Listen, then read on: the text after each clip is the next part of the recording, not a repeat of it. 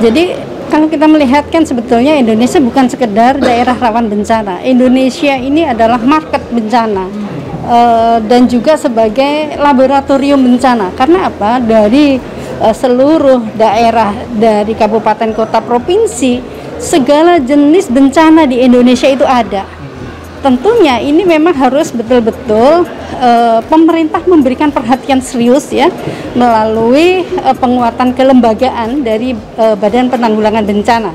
Sebab bencana yang ada ini bukan sekedar bencana sosial yang harus ditangani oleh Kementerian Sosial, tetapi mitigasi yang lebih serius sesuai kebencanaannya ini menjadi uh, concern juga untuk menanggulangi kerusakan yang lebih hebat dan juga bencana kepada masyarakat.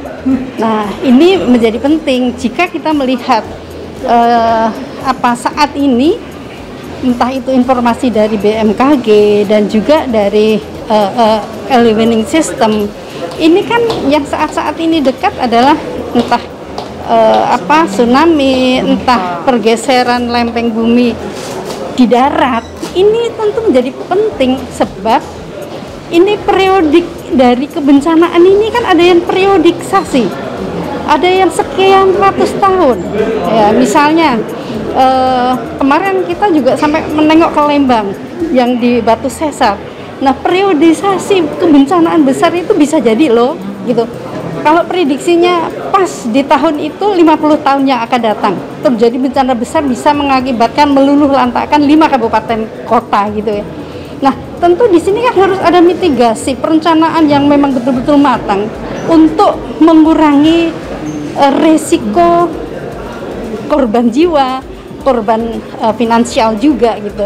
Nah, ini nggak bisa kalau BNPB itu tidak diperkuat institusi kelembagaannya. Karena tentu saja uh, akan menjadi iya akan menjadi power bagi bagi BNPB ini untuk uh, mengakses dengan kecepatan. Ini yang menjadi penting.